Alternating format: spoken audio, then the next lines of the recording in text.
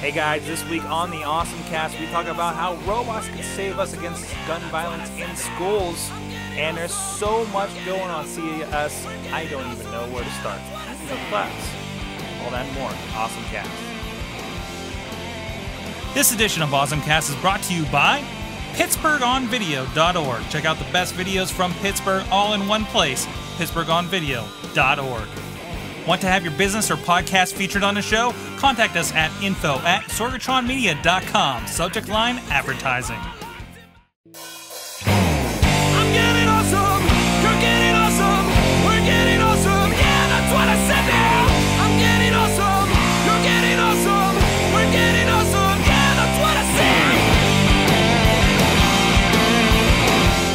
Guys, it's the Awesome Cast, the tech show where we like to talk tech and social media here in Pittsburgh, PA, representing the flyover states. I'm Mike Sorg, as usual, at Sorgatron on the Twitters.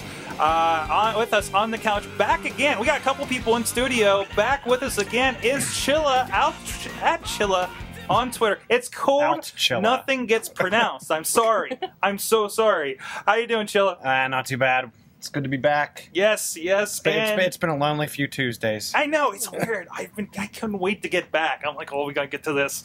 Um, and of course, Katie Dudas. Did I spell everything right? That is correct. At K Dudders on the Twitter. How you doing? Good. How are you? This is, your, this is your first time. You've been on other shows. Yes. And this, This is is your first first time on the Mhm. Awesome Cast, representing with the sock monkey. I like that. My little friend. That. and of course, we know Chilla's story, but you, uh, um, um, we've been wanting to get you on the show because you uh, have been sharing a lot of social media stuff with us. Tell us a little bit, you know, any background interest you you have in that kind of stuff. I have no interest in social media. I've never seen it before. oh my God, what's Twitter? oh my god! What's a podcast? Actually, all of my friends are from social media. I have no real life friends anymore. Um, I, it's uh, I've been fortunate enough to use social media as a, as a friend making tool. I've also used it where I'm studying it. I am at Point Park in their communication technology major in, a master's program, which is their new program for them. And they're kind of getting it off the ground, and I'm learning a whole bunch of new stuff about how I can use social media to improve the world. Excellent, excellent. And of course, it's not just us here in the studio. We got somebody remote uh, coming to us from uh, brainsoverbullets.com. We got Dean Petrella and Ray Russell. How you doing? And of course, he's a little off screen, uh, but can you show us your little friend there as well for the video? right there. Uh,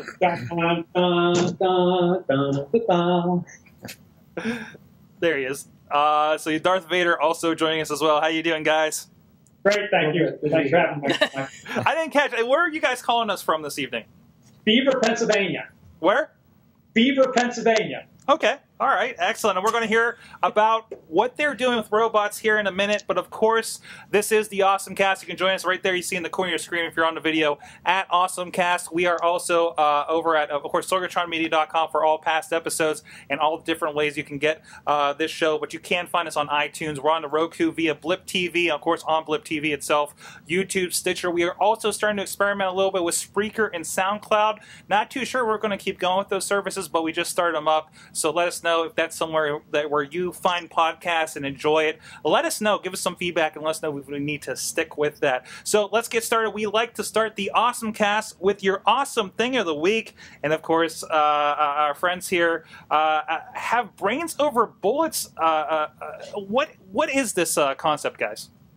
Uh, Mike, so after the after the shootings in Newtown uh, last year, you know, as technologists, that really that really affected us. And and with the pro and anti-gun forces kind of in a stalemate over this, we thought, is there anything here as technologists that we could do that might, you know, be some kind of interim solution or any, any solution at all that you know could help the situation, uh, rather than this this stalemate that it's into, where you know both sides battle back and forth, and but nothing ever changes. So you know, kids keep getting shot in school. So we had this idea about could we build a robot that basically could intercept a shooter, you know, once he had entered the building and do something about it until the police arrived. Um, so, you know, we've started kind of a, a crowdsource funding site to see if we can't get some uh, to get some money to build the, at least the first prototype, which is actually sitting right here behind us. Uh, so, of course, we call him Bob for short. Mhm. Uh, so that's basically the genesis of where the project came from.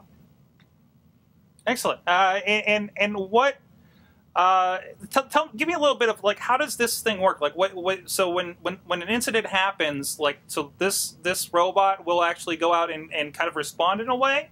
Right. So, so you know, basically what we do here is we build mobile robots. So, you know, we we're, we're starting from a you know from from technology that we know, and our idea is at least the first cut at it is if you can imagine there's in all these schools there's a security guard watching a bank full of monitors. Uh, if he's watching these monitors and suddenly sees an intruder, you know, shoot through a glass window and enter the building, you know, if, if the system is set up in a way where he can take the mouse and basically click on that guy and say that guy there is the bad guy, then the robot, you know, can have that information relayed to him and go to that position. At least, and our idea is to distract this guy, interfere with him, slow him down, you know, for three or four minutes until the authorities can arrive. Mm. So that's basically the, the kind of the, the idea behind behind the robot. Not not that he's going to shoot the guy or tie him up in nets, but basically distract him with a number of these devices we put on the robot to keep him focused and occupied until the police can arrive. Okay, okay. I, if nothing else, I feel like like the fact that a robot is coming at him will be will be a good start for distracting him, right? Right, right. Yeah. That's the that's one of the things that happen is once those guys reach the perimeter, you know, they're king for four to five minutes until you know somebody with more force arrives.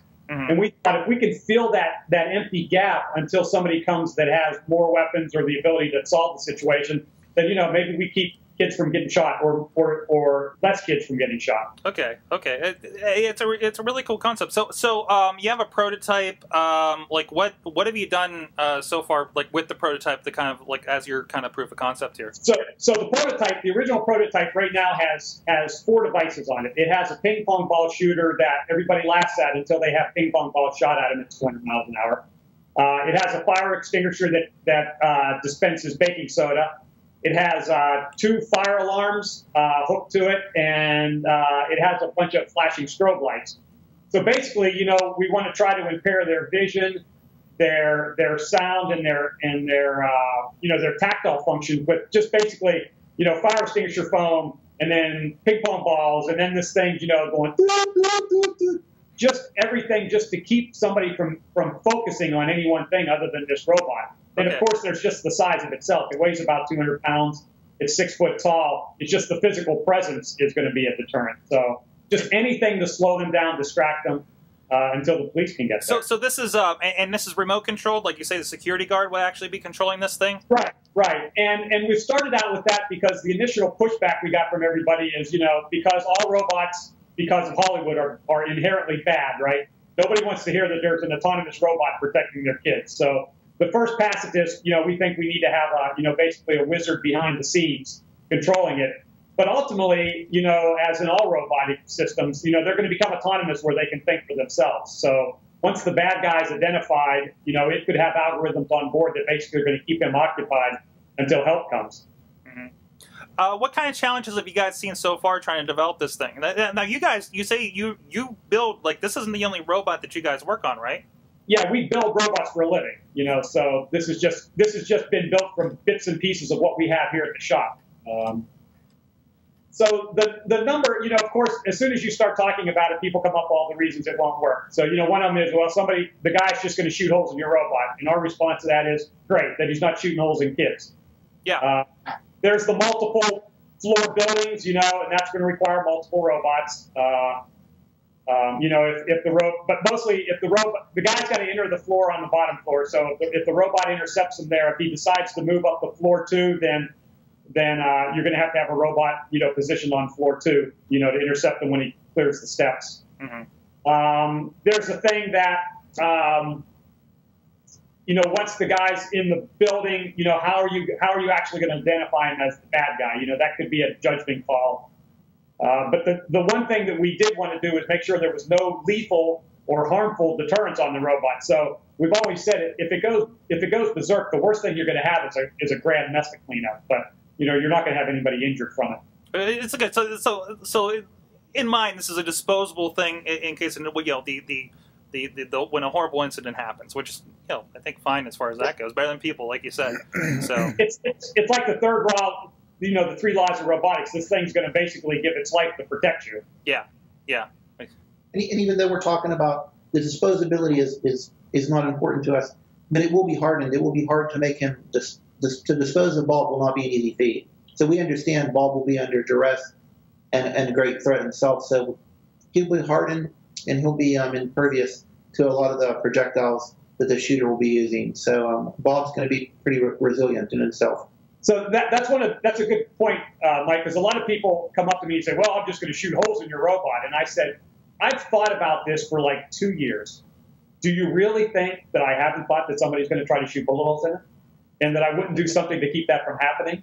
Mhm. Uh, I'm always amazed by that by that question, but uh, yeah, we're going to make sure that he can at least take some damage before uh, you know he goes to quit. Uh, so, so it, it looks like it sounds like you're you're you're- you're mainly focused on schools, of course, uh, and you know that horrible situ- those horrible situations. But are, are there other applications uh, aside from that target that you think this thing can be adapted for? A- absolutely. You know, malls, any any public spaces, malls, uh, prisons. In fact, we you know we've had somebody already mention about that. You know, this would be a great thing for like a prison riot. Um, and, and and the other question we've asked is, you know, if it was in a situation like a prison riot, it, it could be something more powerful than you know ping pong balls and and uh, fire extinguishers. Excellent. Now you do have uh, uh, an Indiegogo campaign going on here. Um, For uh, just look up Brains Over Bullets over there, Indiegogo. Of course, everything's at brainsoverbullets.com. Uh, so, uh, how has uh, uh, you know how how's the reception been? I know you have had uh, you were mentioning an article. Uh, I believe that was the Beaver County Times, if I'm not mistaken, or Right, right. Mm. Yeah, we've had we've actually had uh, we've had the two state senators representatives in. Uh, somebody from Harrisburg called us last week doing a piece on. But it's been it's been slow, and we were warned not to run a not to run a campaign over the holidays, and I think that may have bit us in the butt a little bit uh, in the sense that everybody's kind of busy and not following typically their social media as well as they typically do. Mhm. So, um, but I, it's not going to slow us down. We already have enough money that we can uh, do the things, the upgrades we want to to get to the first to the first plateau of uh, of um, the working model. So, yeah, it's not going to whether or not we hit the number or not, it's not going to deter us. We're going to keep going. Yeah, and I found that too because I, I ran a uh, unsuccessful Kickstarter a couple years ago, and, and I find that even if you're not, you don't hit that limit or anywhere near it or anything, you do at least like you get no, the notice. And it sounds Right. like you, you, know, Yeah. you got some government, you got some newspaper notice, so uh, that can definitely help you, uh, I think, to the next step. So, so it's definitely just because just because a, a Kickstarter doesn't work out doesn't mean that's the end of the project. Uh, uh, definitely. That's right. Yep. So, um, uh, so I mean, other than the holidays, uh, is there anything, any advice you can give other people kind of looking to get a project? Of course, you guys, you guys are making something uh, with this versus other people trying to do a podcast or you know a movie or something like that. Um, you, you- what what are uh, kind of the biggest hurdles that you're finding uh, in trying to get this thing out there? it's it's it's funny because because of the social media. Even though you can get the word out, there's a million other people also trying to get their words out. So it's it's hard to get above the din. You know, I feel like I'm in the back of the room, jumping up and down, waving my hands back and forth. Uh, and as technologists, you know, we're we're geeky robotic guys. We don't have that that media savvy that we need. And I think Dean would agree. We we needed that. We needed to have like the campaign in place before we pushed the button. And uh, I think we pushed the button before we had, you know, we should have had all the people we wanted to contact lined up. So when it went out, it went out in a giant press release. Uh, and I feel like we've been behind the eight ball the whole time. Awesome, awesome, um, awesome. Uh, so, uh, if anybody wants to check it, tell us all the places where we can find out uh, more about uh, uh, you know uh, what you guys are doing. Yeah, the Brains Over Bullets site, and then of course, you know, our own company, RoProDesign.com. You know, that's the that's the parent company that's doing this work. Uh, but but the Brains Over Bullets site's the best place to go if you're looking for information. What, real quick, because I'm, I'm looking, I actually popped over to your, your other site and I'm seeing this kind of slideshow of some of the stuff. Did I just see a lawnmower robot of some sort? Oh yeah, we if you can drive it, we can turn it into a robot. That's awesome. So you guys are doing like Roomba for my yard because I could really use that. I'm really, I'm really Yeah. bad at getting my yard taken care of. The, the bad thing about lawnmower robots in the United States is what we refer to as the tethered dog problem. Uh, so Oh. you can imagine robotic lawnmower, dog tethered in the yard, something goes wrong, lawsuits, publicity, bad publicity. Sad dog. What's the uh, okay? Uh, let's have some fun. What what is the craziest thing you guys have put together? The craziest thing we've put together, holy cow. There's a lot of them, but I'm going to say one of the ones that I thought was pretty interesting and also pretty crazy was the FTX, which is a giant, um, looks like a big bulldozer, but instead of having a bulldozer lift in the front, it has a big what they call a tool that actually spins at 3,000 RPM and takes trees and actually whittles them down to toothpicks. It's a pretty nice machine, and we we did that. Um, was that last year or year before? Yeah, two years ago. We did a we did an explosive pig collar for uh, for tracking pigs, feral pigs in Pennsylvania, and it uses like a technology that NASA uses where you use an exploding bolt. So we got these GPS collars around these pigs, and uh, when it's time for them to come off, the last thing that the battery does is it sends this charge to an electric bullet, and it explodes these collars off the pigs, and the collars just fall down, and the pigs are uninjured. They're- Okay, okay, okay. Thank you, okay. thank you. I was like- thank you for clarifying. I think I think we almost had a PETA problem there. Um, I, Everybody's thinking, yeah, there's all these decapitated pigs. One I obviously interpreted and visualized that completely wrong. Uh, but I think I found a picture of the this uh, this this uh, toothpick making machine. Oh my god, that's, That's robotic. Huge. yeah, that's scary. That's a scary machine. It's a large machine. It's very powerful. Yeah. It was really impressive to see that thing under under um, under control. It was just amazing. Wow. So And that's also remote controlled. Yeah, that one was remote controlled from. Uh, it was they were clearing our artillery shells off a large artillery range, and they needed a standoff distance of about I think it was two miles. So the guy's driving that from a remote location, Jeez. picking up artillery shells. Awesome. Excellent. So, hey, you guys want to stick around with us? We're going to talk about some awesome things. We're going to be talking about a lot of CS. CES. Uh, I'd love to get some guys making freaking. I don't, want to say death machines, but it's the first thing I think about when I think robots, and that thing we just looked at. Uh, so, Yeah, that's I want an exploding collar. That's awesome. All right, let's go uh, down the line here. Uh, Chilla, uh, we were talking about this a little bit before the show. You got something. Uh, I, I know we're first week. It's CES. All kinds of crazy. I don't even know if I caught up with half of Th- what's out there. and there. there is it seems like this year we're it's it's everyone's covering everything so you're getting inundated with so many I've products never from seen such a a scatter shot of random stuff. There's even uh, we'll get to even like video game stuff. You never see video game stuff anymore, like on the scale we saw this year. Uh, but we'll get to that in a moment. I think as long as you're not Michael Bay you're, you're probably doing pretty good exactly. if, any- if anyone if anyone knows he I guess the teleprompter it's he claims the teleprompter messed up and then it got reversed and he just got flustered and and walked off the stage and then blogged about Three it. million dollars by Samsung, well spent. Um, but it, it is more. He's doing endorsement. He was doing some other stuff too, so it was just a bad moment. Uh, but still, you so some things that might work. So, so one of the things they, they, they showed, and there, Asus makes one, and there's there's another company from I think India that's making one, and it's a hybrid Windows and Android tablet. And the thing that that I've seen in prior tablets is they either have to be rebooted. It's kind of like imagine your any other machine running multiple OSs. Um, but this lets you instantly switch between Windows and Android, and I've I don't know if it's this one or one of the other And I ones think that I they was said looking at. I watched the one video. I think it was for this one. They said it takes about five seconds. Yeah. So and some of them some of the other ones that I've seen, they're they're getting it to the point where you can actually, if you're familiar with Windows 8 and the modern UI, you can actually pin the Android app to the modern UI. So you click on the app and it launches the Android version of the app. Mhm. Um, so Sorg's question was, why would anyone ever want one I of just these? I don't see I don't immediately at least see the application of this. Mm-hmm. Um, you know, using desktop, using Android devices.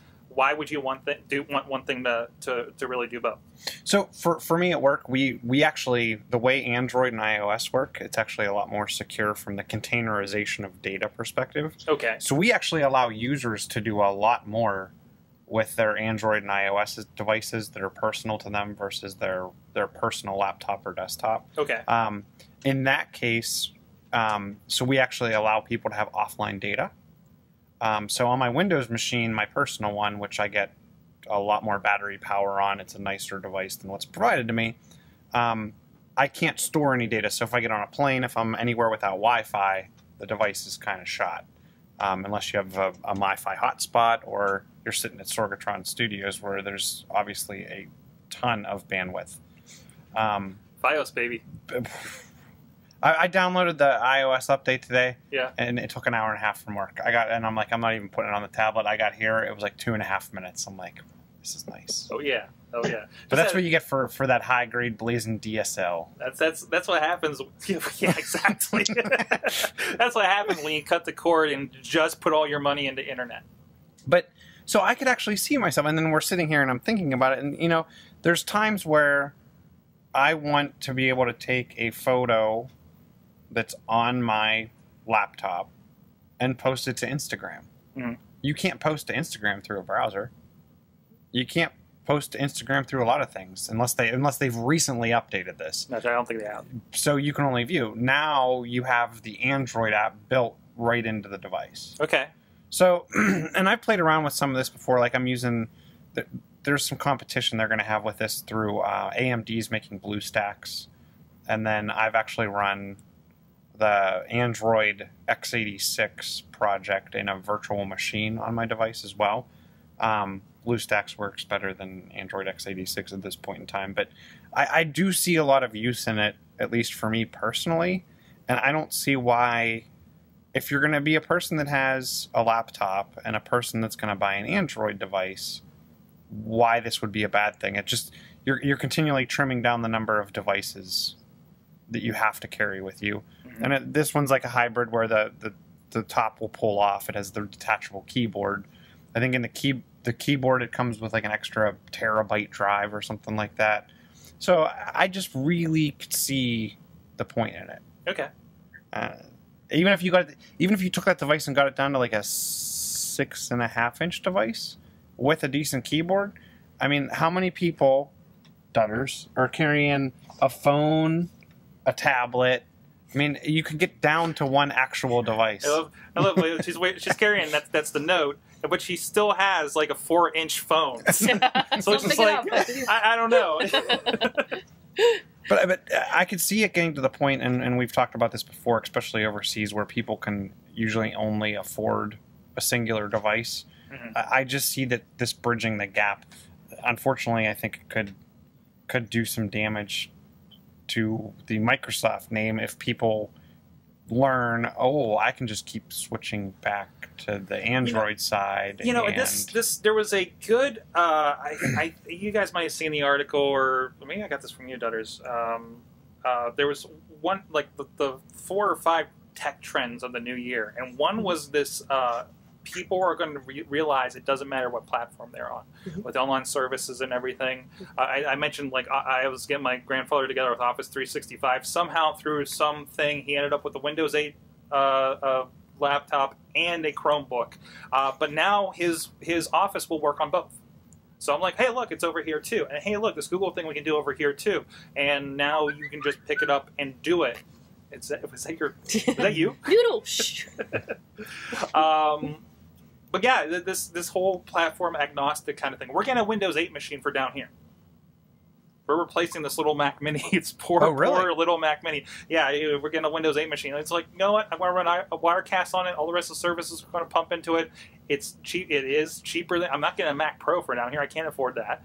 Uh, It's so tax write-off. it's- uh, yeah, it's a tax write-off. but I got to make the money first. Um, so, so it's a little bit of a problem. So, like, yeah, I, I love the idea that it doesn't even matter anymore. Um, other than that whole, again, Grandpap calling me, what the hell do I do with Windows 8? this doesn't make any sense. Why did they change it? I've heard that from him and my sister and a few other people. Why did they change it? And I, Ake One got better, and I I have a feeling we're going to get to the point where you're going to get the option.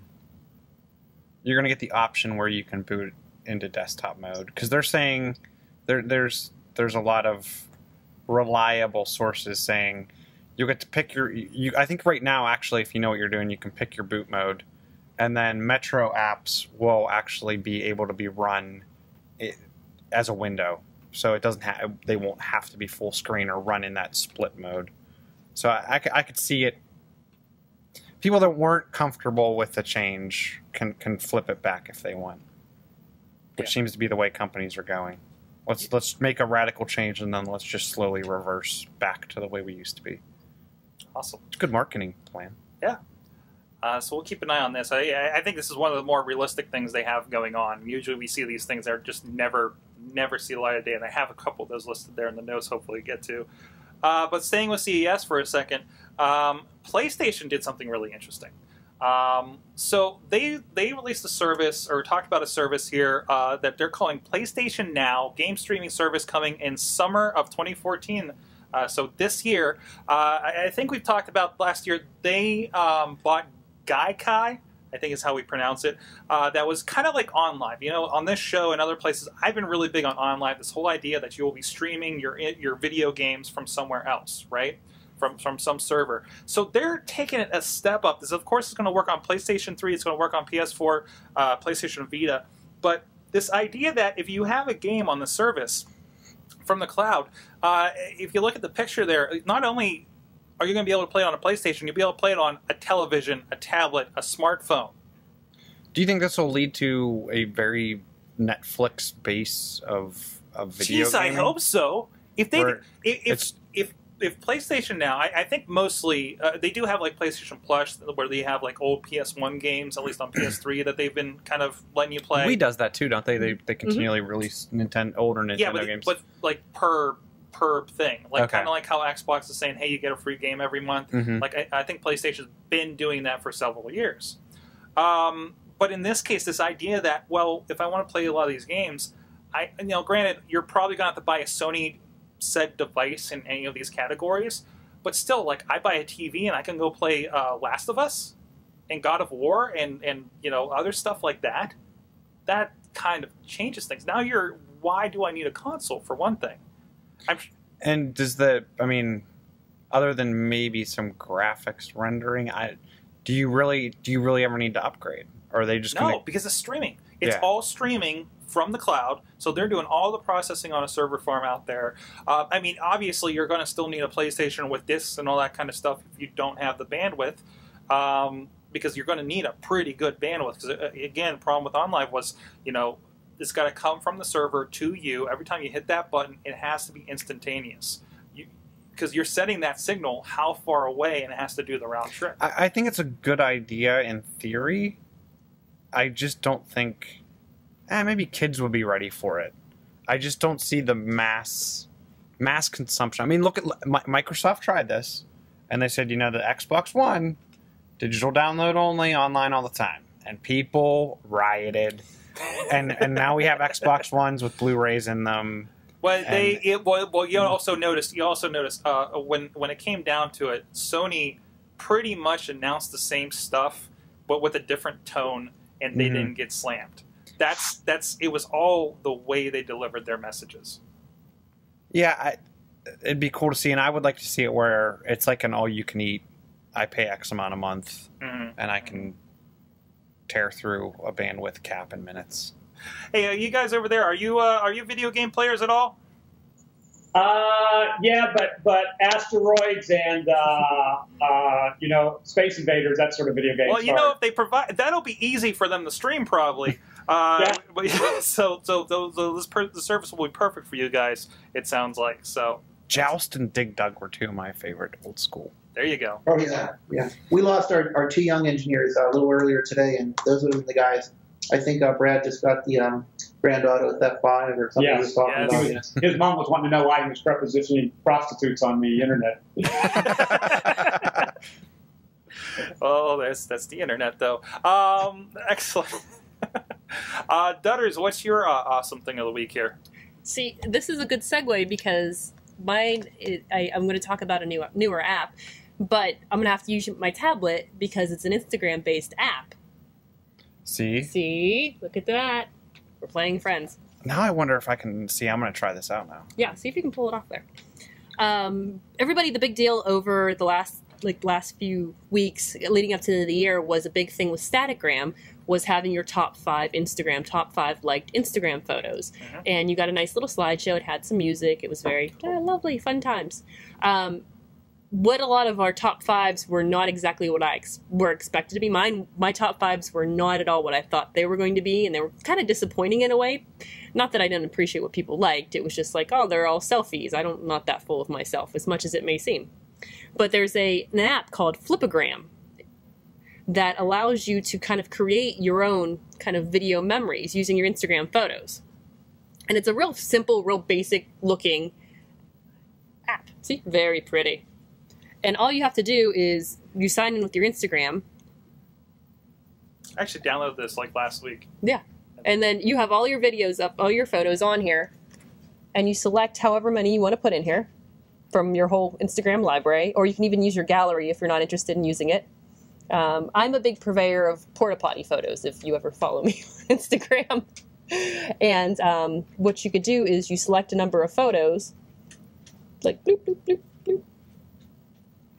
Find you some more porta potties.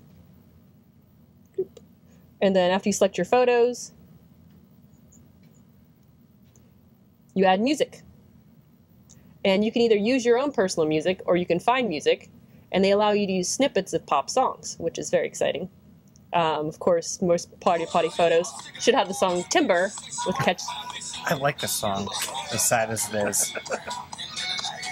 So now, does can, it pull from their audio or it pulls from your?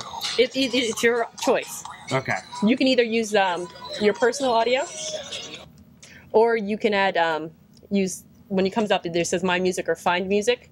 Um, if you use the Find Music, it'll give you basically a, a list of pop songs, and you can either use this 30 second preview, which you're not going to make a super long video, so you only need the 30 second preview, and um, it allows you to uh, pick a song and then make it a beautiful little thing. And then you can name it. Um, if you get a little more into it, if you want to pay a little bit more, you can have a watermark, so you can save it as your personal own video.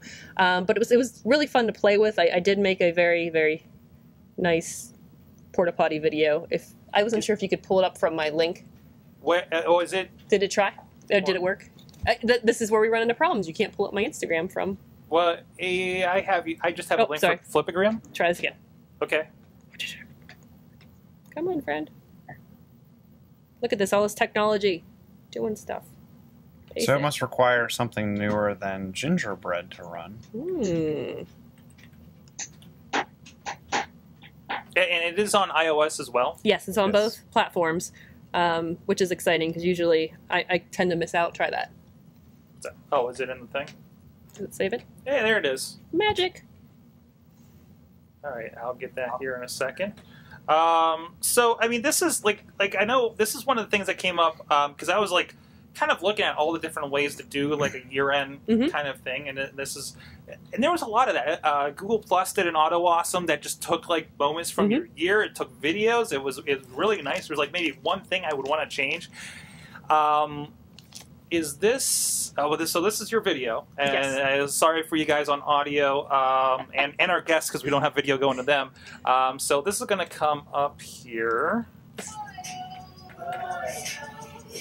and it's a nice brew of porta potties With royals, with royals because most of my potties are royal flush. In case you didn't notice. and I'll tweet that out here on the uh, awesome cast and just porta, potty party. Thank you for ending that with my. Uh, speaking of GTA Five, I sent her the first porta potty I saw in GTA Five last week, so so that made it in there. Uh, the Um, nice thing about this is you can share it multi- multiple ways. It's not necessarily just on Instagram. You can send it as a link. Um, you can send it to your friends. You can embed it in a Hangout. Does it does it post directly to Instagram?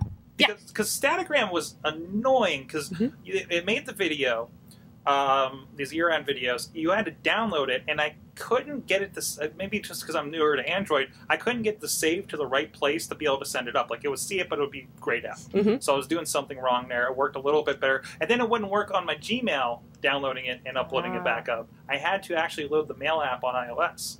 So I was having all kinds of trouble trying to get. These Yeah, I was able to work. share it wherever I wanted, as far as like a, a normal link almost. Yeah. So awesome! I am gonna. Like I said, I'll Now, tweet can you actually say? Oh, can you actually save it? What's going on?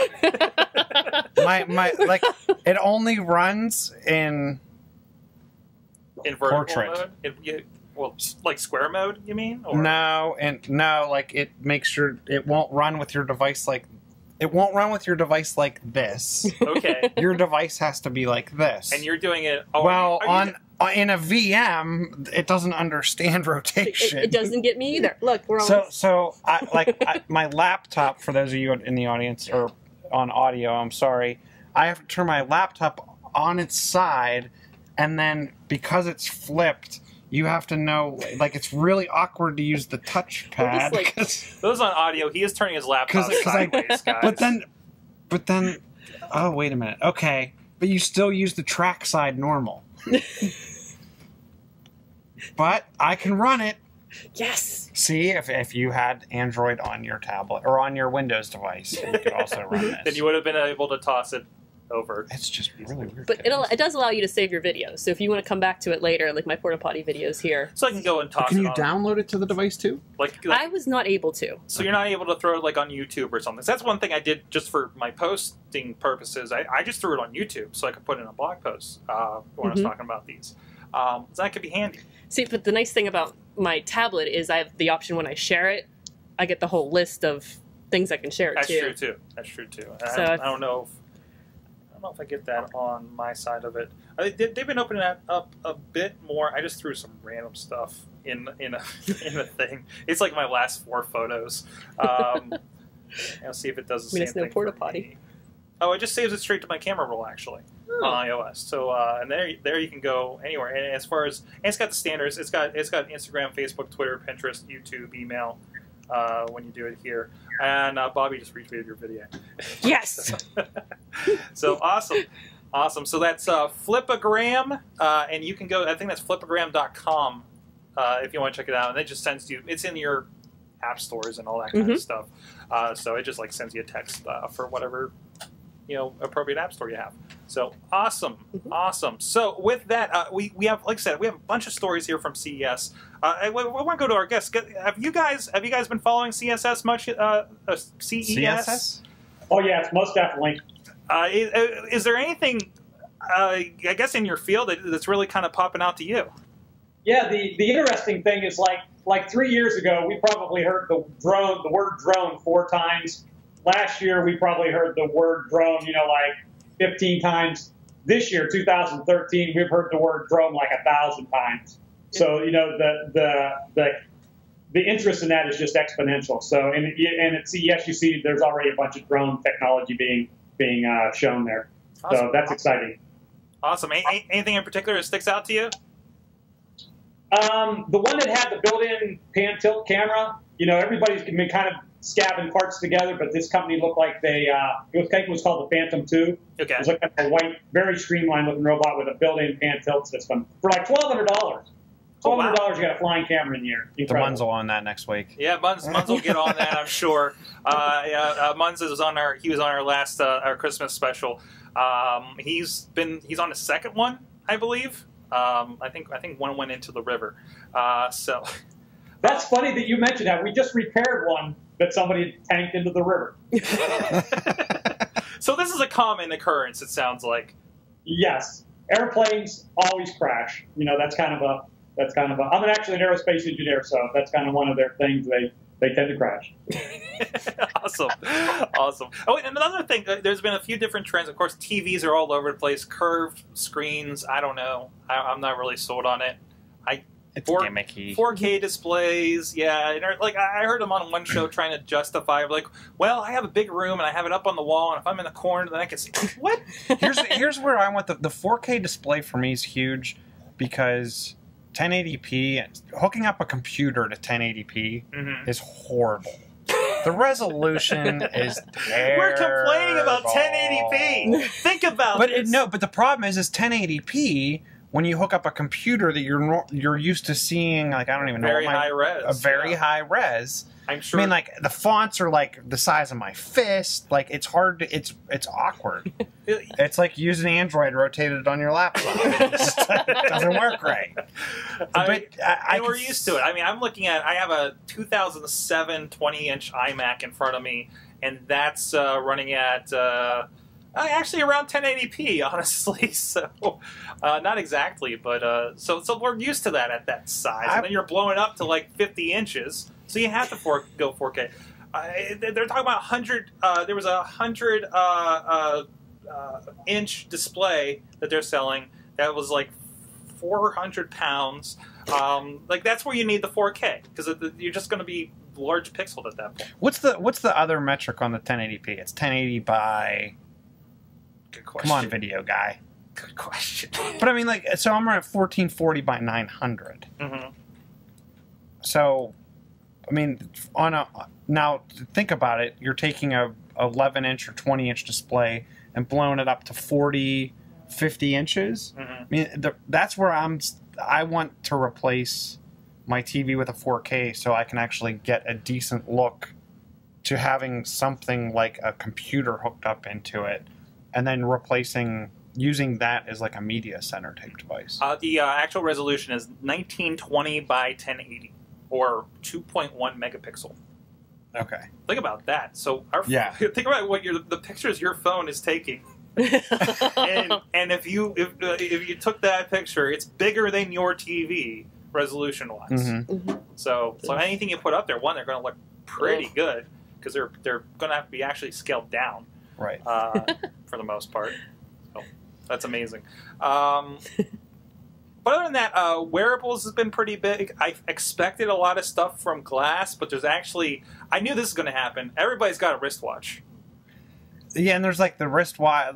There's like wristwatches that are also like heart monitors. And look at us, we created something that looks like the Fitbit, but it also LG. tells you it tells you who's calling you.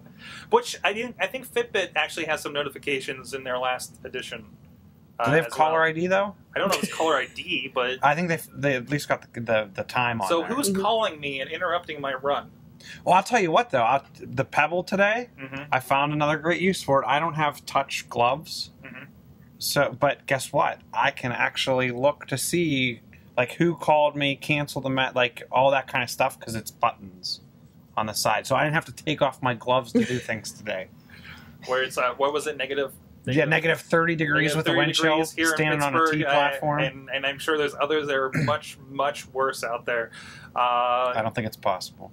Yeah, yeah, yeah. Um, so I well, I know uh, Pebble themselves. They actually had like they're they're saying, "Hey, we got this down." I think they got the technology down. Now they are actually working on the design of the Pebble itself. The next one is going to be more stylish, for instance. Well, it's not going to be. That's not necessarily the next one. That's just another one. another one. Okay, So, because they're going to continue with again, the, exa- again, it was the one they have. flurry of Yeah. stuff. Well, the weird thing too, I, I saw some blurb from the CEO, and it, he was coming off as like, if, if if that's all you took away from our our keynote and our our discussions was we're coming out with a steel watch, please pay attention to the other things. They're actually going to have an app store Mhm. now, and they're they're doing a lot with content. The other interesting thing that I thought was with the latest OS update, they enabled they're enabling more hardware in the device. So obviously, they they had the forethought to put in stuff that they weren't going to use in in the first couple versions of the OS, like Bluetooth LE is now enabled, and I think there's some part of the accelerometer or something. But I thought it was pretty cool. Cool, they're getting an app store, so Mhm. that's pretty impressive. Um, the other thing we kind of expected this uh, Google Glass, of course. Uh, uh, there's there's a lot of applications coming out for it. Um, there's also a lot of competitors coming out for it. Well, we've been seeing them leak out here every so often. Uh, but first, like, like here's one. It's a, uh, uh, uh, uh, a Google Glass controlled treadmill. what? okay, um, but uh, okay, that makes sense. I'm, I'm presuming just it. Uh, actually, there's a video here, um, um, and Sure. Yeah, I, I can see fitness working out. I, I can see, you know, much like your watch, I can see you you, you running and, and, and information pops up as well. Um, uh, that seems to make sense to me. Um, The bottom, I put a bottom link in there. The other, the other huge thing that I'm seeing coming out of CES is cars. mhm. Uh, but before we get to that, um, Hyundai is going to integrate glass with their cars. Yeah. and you're going to be able to unlock and lock your cars from glass and do some other things. It's it's leveraging their Blue Link service, which allows any Android or iOS or I think even So BlackBerry. I'm not familiar with this Blue Link. So so one of the you know discussions is you know how much are you really going to use Google Glass while you're driving? How much are you going to be allowed to? I, well, I, okay, the thing they're, they're saying is like uh, uh, lock your door. Uh, stuff like that. I mean, that's really the only thing I see in this article, at least. and, Um, and it's one of those things where you you don't realize it that you want to use it until you want to use it. okay. Um, for example, I never really cared about being able to remotely start my car till it was really really cold. and we were actually fortunate enough to get a new car over the holidays, and it does have I can through my phone start the car. So we were in the mall finishing up dinner. I left the heat on, and remotely started the car, and it was nice and toasty warm when I got there. Mhm. The thing for me is not necessarily that. The one of the things that I constantly forget to do is turn the lights off on the car, and then you end up with dead batteries, Mhm. and then your wife gets really pissed off when the car doesn't start. so it actually you can turn the headlights off. So if I think, oh, did I forget to turn the headlights off? I can now click Check them. And then I took the other car today, and hopefully she's not listening because I left the car in the parking lot with the lights on all day. But that car started and I got here, so life is good. Um, but I, I don't. Know. There's a lot of features that I didn't think that I would care about with the Blue Link package Mhm. that was pretty cool. And, and, it's not just them. Uh, Google, of course, also announced an open. Uh, I'm sorry, I'm not open. I, I keep wanting to say open handset alliance. Like, well, I guess it is open automotive still- alliance yeah. with Audi, Honda, GM, and more. Uh, so now, so so Linux even more so is getting in our cars which is point. interesting because QN, QNX, QNX, which was a company that was bought by RIM, which then became BlackBerry, Yeah. was huge in cars. Like Audi was using that. Like there was a bunch of car manufacturers Mhm. that that it's all Linux based. That that OS was running in a lot of cars, and now you're seeing Google take over that those a lot of those relationships. Mhm. What'll be interesting is, uh, and I didn't see. I know Ford was doing some stuff. Ford's been a huge Microsoft. Yeah, did I hear they're Partner. going to be moving away from that? I don't know. I know. Um, I think it was Audi that said they're going to actually their console device is going to be a tablet that's removable. And I like that. I, I think that was a lot of because there's been a lot of talk, of course, of Apple also doing uh, some automotive Mhm. integration as well. And I like that idea. I I think theirs was more this is the base of it. Your iPhone's the base of it. It just interfaces with this. So you don't have to worry about that brain in your c- car getting old because you're Mhm. you're going to be buying a new one every year, two years, however you do your iPhone. Anyways, if you're buying a f- car like this, you're probably buying your phone pretty regularly. Um, uh, hey, what do you guys think uh, there on the other end? There, I, I, have you been looking at a lot of this um, kind of car automation and, and, and integration stuff? Yeah, Mike, this is very interesting what John was talking about because this starts playing right into into our little world. Uh, you know, basically everything we do here, even though we build mobile robots and bulldozers and stuff, the focus of what we do is ultimately cars that drive themselves. Um, so John's in the mall and he can start his car, but imagine the day when he walks out of the car, out of the mall, and it's 30 degrees below zero, and the car is sitting right there at the curb. I could, I could go for that. How about we just do this? We'll mod my car that I have now. We don't have to make it autonomous. Let's just make it where I can like remote control it. We'll throw a webcam on the front I- mirror. There you go, guys. He is offering his car for you guys to experiment on. While you're at it, can you put one of those crazy wood chipper things on the front of it too, so he can get through r- rush hour? Yeah, yeah. But that, I mean, that I could, I could definitely see people using that. And think, of, think about it this way: now, uh, if you you go to work and you send the car back home, Mhm. and the wife goes to work, I mean, it could definitely. Yeah. I saw It's there, definitely there was one demonstration um, where they are they were demonstrating on the road um, what happens if the if the person falls asleep. So you just like took hands off off pedals, it dings five times, and then it just like slows down. And it said if it's set up um, and, and nothing responds after a certain time, and they will actually call for the police and everything. Um, like that's that's important. Mhm. That's Yeah. the kind of thing. You know, um, uh, you know, if they get corrective stuff where they're just like, you know, something comes up and says you're driving too erratic, and you know, and there's just maybe measures to help you out. You know, if you, know, you were an idiot and got too drunk or something, Mm-hmm. or something else is going on. You know, uh, how many people have a heart attack and wreck their car? You know, Well, how Right. many people? How many people? Their kids are home for an hour before they get home, and, and they're not of driving age. Not something happens to them. If they can get to the car, the car can get them to seek medical attention. Wasn't that? I've seen that in a movie. Wait, wait. You know, the same thing has happened in a movie with a car, and the same thing has also happened in a movie where they're riding a horse, and it just takes them to the Hot, place Hot. Wheels says kit. Kit. I think there that's you go. the night, Knight Industries. I mean, isn't all this the, the the vision of this is KITT? Just like the vision of Yeah. 2015 is Black to the Future too.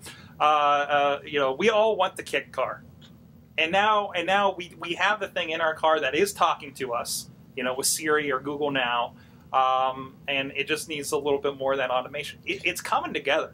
Well, that's, Yeah. the, that's the one thing that I think we're it's interesting, and it's gonna it's gonna be interesting to see who comes out on top and, and first place, second place, however you want to look at it. Because I noticed one of the links you have in here is the Jarvis, which is Intel's headset, Uh, yeah, yeah.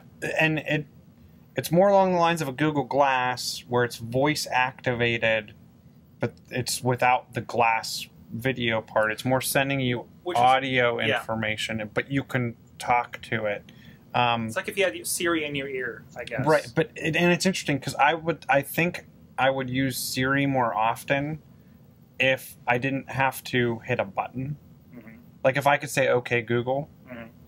or "Okay Glass," Mhm. like I could see myself, and I think people are picking up on this because Intel's doing this, and Nuance, the makers of Dragon Dictate. I forgot to put this link in there.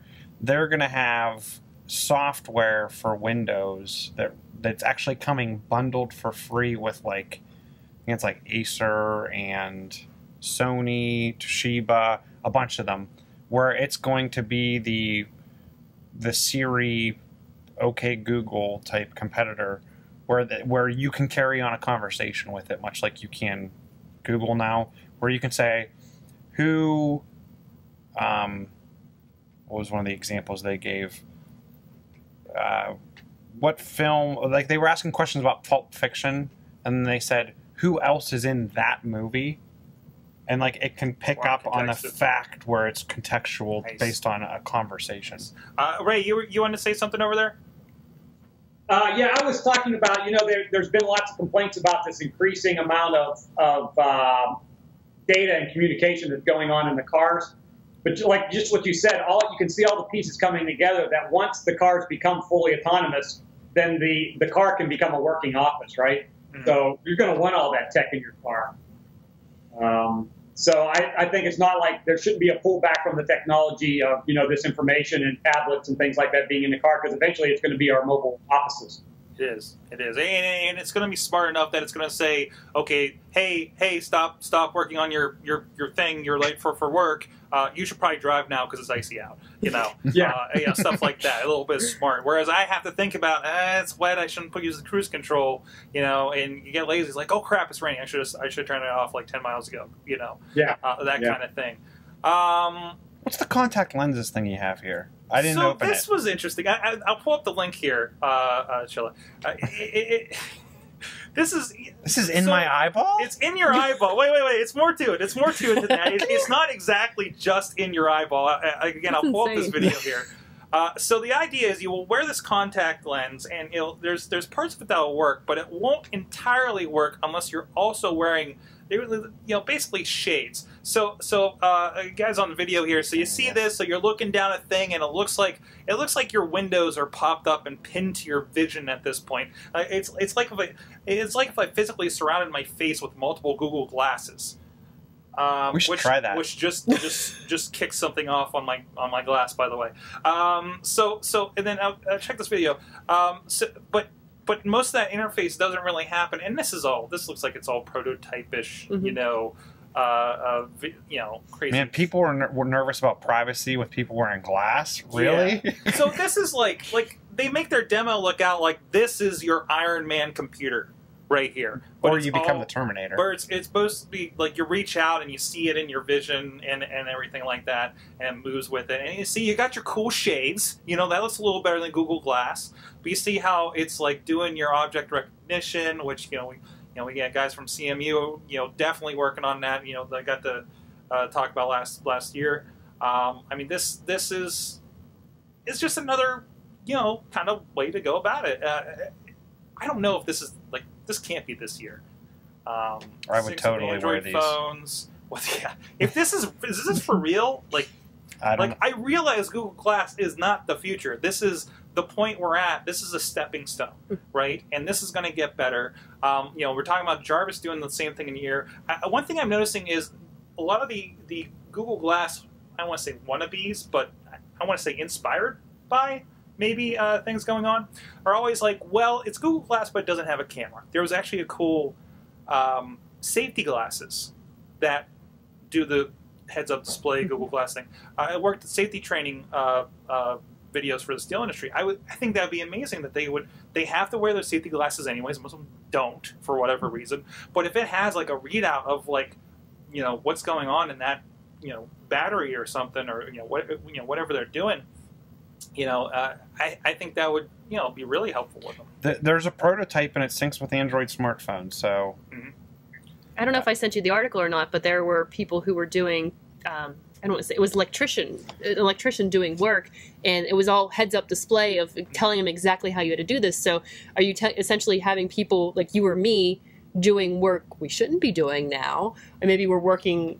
You know, they, I, I've seen it for as far as a mechanic. This is all you know, prototype things. It's, it's just taking that augmented reality and taking it from this step to just right in your face. That's right. That's right. I mean, we, we already have. Uh, we've had AJ on the show talking about the giant manuals that they would have to take around with them. They're just putting them on iPads now, Mhm. and that's so much easier. But now, if they put just right up here, that that'd be tremendous. Mhm. Um, another kind of side on that. Um, there's been like I've been listening to a lot of stuff from people saying, "Well, well, I."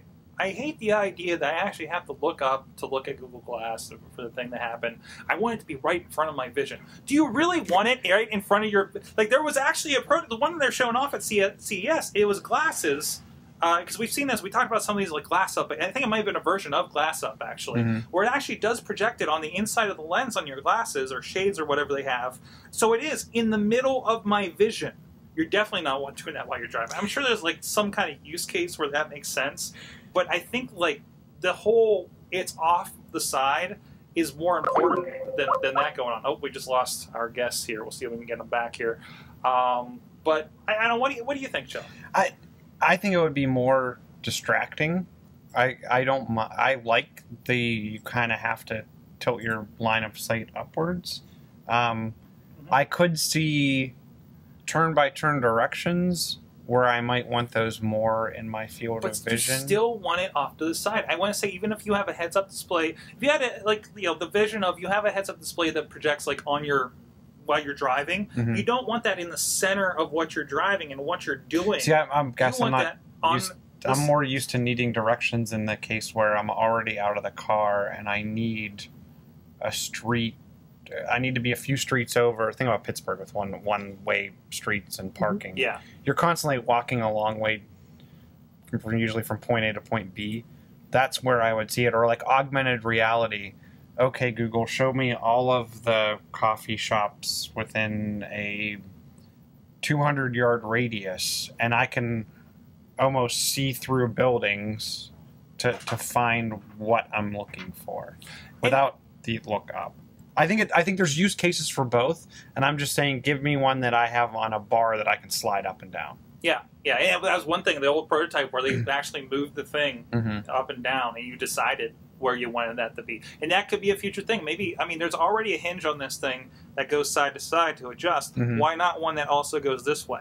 Right. You know, I mean, plenty of reasons. I'm sure industrial design, but still, I could kind of see that happening. Yeah. So, Could you? But could you imagine having where it's in your face when you're driving through one of those blinding snowstorms, and it tells you some sort of object is ahead, um, where you could integrate, for example, like something like I'm just throwing Waze out there, where it could that.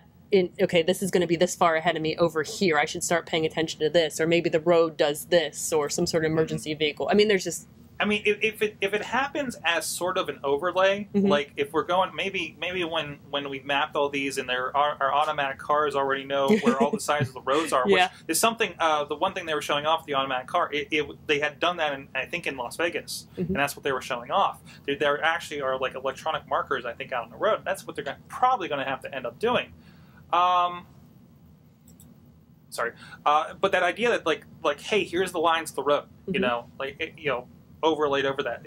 I could see that, but the way they're presenting it is like that message I get on Twitter is right here in Yeah. front of my vision. I just can't see. I, What- and this is the first steps. And and but there's other companies doing it. Like I saw uh, recently, uh, I think it was this afternoon. I was quickly scrolling through all of the CES stuff, and I think Garmin was talking about their new their new heads up display for your your your um, windshield on your car, and it's going to be something that projects right into your vision while you're driving. This doesn't seem like a So- good so, idea. I have uh, to see it, but I, I pe- just mhm. People have uh, they're they're not building it for just to build it. Yeah. I mean, there has to be some kind of demand, Okay, or someone thought it was a good idea. Here you go. Actually, here is uh, for you guys on video. Here's here's a the, this is the image that I saw. That I'm like, what the heck am I going to do with that thing? you know, it's right in the middle of the lens Mhm. where you're. It, and I know this is probably just a mock-up or something, but still. But what is it? I'm sorry, I don't know what I'm looking at. It's it's a dark. Uh, Gray I with mean, you green. See, you see, this is the lens that you'd be looking through. So this is one of your. This would be right in the center of, of what you'd be seeing here. Let me see if I can pull up a bigger picture. But is it but is it highlighting the fact that there's something there for me to see? Hello, Francisco. Uh, uh, thanks for the update. Da, da, da. So this is like a text message. It looks like. Okay. Yeah, I don't know that if I seems like that. seems a little. Yeah. Yeah. to Yeah. Now, if there was a building there and it told me this building that you're looking at right there is blah blah blah blah blah blah, blah and here's a history of it. Overlay. Yeah.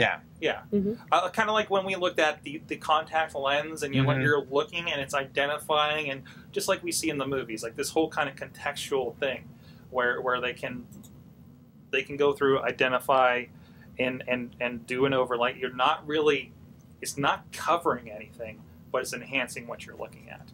Um, I don't think we're going to be able to get our friends back here, but we did get some stuff sent to us from the chat room. I definitely want to uh, bring up. Uh, Juggalo John sent us a few Instagrams, actually, uh, of stuff. So here we have uh, this is uh, uh, from that Chris Gore up on Instagram uh, for you guys on video.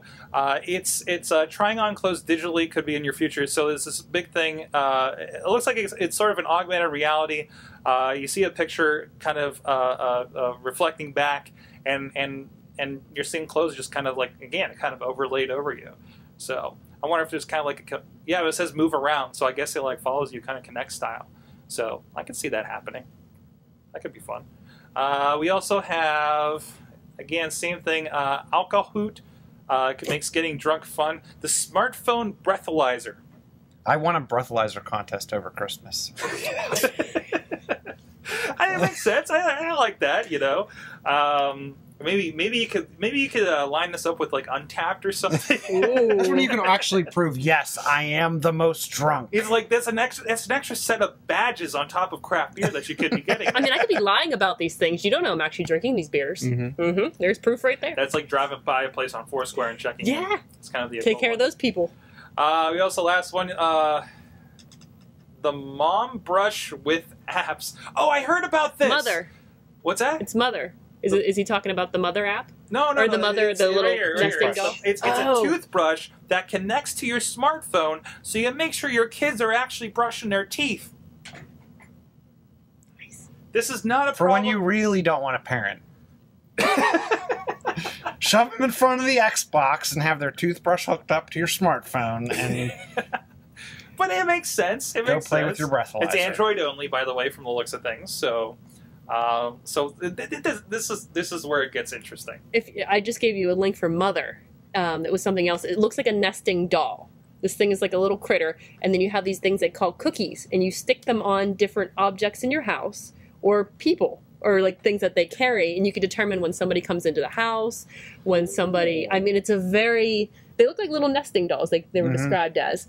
And uh, it'll tell you different temperatures of things. I mean, there's all these little nuances that this thing is supposed to measure. How much are these? Oh, Two, 200? I mean, they're what? two twenty-two for a base unit and four cookies. hmm What? Hmm. I'm guessing the cookie is like the nested doll. That, It's still it's this little It's tab. oh, it's a little tab. Yeah, I, I don't know if I have a better it. article. Hmm, I kind of like this. So I mean, Okay. beyond the toothbrushing, we can check everything you're doing. Oh, Well, because I was thinking today, that 'cause looks like an alien from like Doctor Mhm. Who. I was thinking today, like, I wish I had an extra webcam that I didn't mind if something happened to it because I wanted to put it downstairs in case my pipes burst. And I Mm. kept looking because I have Nest, so I'm looking at the temperature inside the house, hoping that the furnace can keep up with the cold outside, which it did a pretty darn good job. It couldn't it couldn't maintain the, the 70 degrees, but it, it it peaked at 66. The house stayed at a constant temperature. But I wish I could like put one of these in sense like, is there water? Is there whatever? Mhm. Which I I want one of these. Well, that's now. the next thing is like you know we're doing we're doing a quantified self. We're you know we're, we're putting sensors all over our body with Fitbits and everything. We're doing the same thing with our car. Mhm. Why couldn't we do the same thing with our house? Mhm. You know, I mean, we already have a thermostat. Thermostat's one sensor. When you have Nest, do you have like multiple, like kind of thermostats amongst? The if you if you have or- if you have multiple if your house is heated in a fashion that you have multiple thermostats in your house, Mhm. Then you can use multiple thermostats with Nest. Um, it replaces your thermostat. It does give me like humidity readout. It does give me current temp, requested temp, if there's been motion detected recently, that kind of thing. Um, do I? Are they in multiple rooms? Can I tell temperature differential between rooms? No. But it's kind of. I guess I could put one in there, but then it's going to get all confused because it's going to say, "I'm not hooked up to a furnace. I don't have anything to control." Uh, you you need some other kind of weather gauge device to throw around. Um, John shares another one here. It's the iBaby. That's B A I B A B I H D, the world's first Skype wireless baby monitor. Really? That's taken them this long to do that? Um, Maybe it's just because it's Skype. Because there's other ones that are non-Skype. and this, this is the the comment on this one is: Could a wireless baby monitor just be training your child to be a cam girl?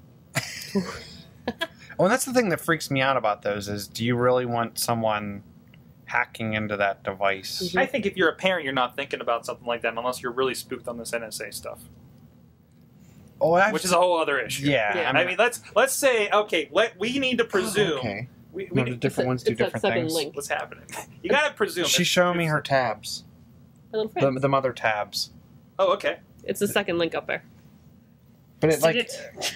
it has like it's these little can't see it. sensor pieces that you can throw around your house. Yeah, I'll pull that up too. Yeah, it's the But second. but you got to presume if anybody's going for any of this stuff about this quantified data that they're collecting, you have to have thrown that whole idea and worry out the window for that kind of stuff. So, all right. On I got- that note, oh, I got two go quick things for you. I'm Okay. sorry. No problem. One's for you. Okay. Woohoo. Equal the Jot utility Yeah. that you that you purchased For the wife. for the wife Yes. now has Evernote integration. Oh, nice. They announced that at CES. Nice. I'm So sending that some to my wife. news. Um, LG is bringing back WebOS on their TVs, which is awesome. Yeah, I heard about this. Uh, also, Roku being integrated in some TVs now too. Yeah. And then just real quick, upcoming and awesome. Um, we're probably about a month out for the next version of iOS, and I'm hearing there will soon be an Xbox One OS update that will bring a lot more feature functionality, as well as they're saying it will actually streamline the OS. It will actually use less electricity. Oh, so it's good. Pretty impressive the things they're doing through software updates. But Um, um, I do know. I think they're, that's also going to bring the streaming through Twitch TV because Yes. I knew that was an early 2014 update. So and I think it's going to bring some more. One of the things that I'm actually not too happy about, um, the ability to stream from like a home share or files from a computer or whatever around your house. Yeah. You actually have to go to said computer and tell the computer to stream that one exact video to the Xbox. there's no way to like kind Whereas remotely like select. 360, you could kind of browse your Yeah. network. Yeah, I, I even there was even That's a, not- there is even a plugin I can put on the Macs to make it work. Right. would see it. Yeah, that's not. It's in reverse. So you have to go over to the Mac and say, I think I think at this this. point for that they're presuming you have a laptop on you, which isn't the way that you would use it. I, I, I Yeah. it's got to be it, or or they don't want you to use it. I don't know. It's it's weird. there are some kludge workarounds with a with a tablet and a laptop, and I, yeah, you always log me in over, and yeah, exactly. well, there's a, there's an ac- application called Skifta that's pretty cool. If you get a chance I to was just hearing out. about that actually. But- so, guys, uh, thanks. Once uh, we lost him here on Skype, of course, but uh, be sure to go check out uh, brainsoverbullets.com, of course, to find out about the uh, the uh, the robot they want to put in the schools, the Bob, um, and you can find out all the other cool, cool I stuff. I, is this the first robotics people we've had on the show? That's I think, so. I, I think so. Yeah, we'll have to, we'll have to keep that up. Um, you can check them out at RoPro Design, RoProDesign.com as well to find out all the cool stuff they're building over there. Uh, so, so thanks again to uh, Ray and Dean for joining us here and uh, and joining along in the conversation. Uh, also, thanks Dudders at K Dudders, of course, on the Twitters. We gotta have her back soon. I wanted to talk all about social media, and all we did was see. We have so much CES though. I don't know. Uh, Maybe I'll come back. I guess. Please, you can come in remote if you if you can't make it. If you if you can make it in a negative thirty degree weather, I think you can make it again. Uh, this on a is warm this day. is becoming this is kind of our, our South Hills contingent of, of, of podcasters here. Yeah. It's pretty cool. Uh, we need a gang. We need some signs. Exactly. South Hills represent. South Hills. Yeah. Um, so with that, hey guys, it's been the Awesome Cast. Of course, you can find us out. We're on Twitter at Awesome Cast. We're on Facebook. We're on Google Plus. A lot of good conversation happening there. I know we like to share a lot of stuff throughout the week. Um, like there, there's a tweet right there from us. Um, In your face. in my face. See, out of my vision. That's fine. Uh, and of course, you can join us uh, every Tuesday night at 6.30. Change that. 6.30 p.m. Uh, Eastern Time here at live.sorgatronmedia.com. Uh, of course, we're on iTunes, Roku, Bloop TV, YouTube. Let us know if you're using the Spreaker and the SoundCloud when we post this as well. Uh, some uh, good options, or let us, know if you will, at least in the future. Uh, with that, for uh, thank you to our awesome chat room, sent us some great links all night. Um, thank you to our awesome. Wait, I forgot how. Thank you to our awesome guests. You've been our awesome audience. Have an awesome week.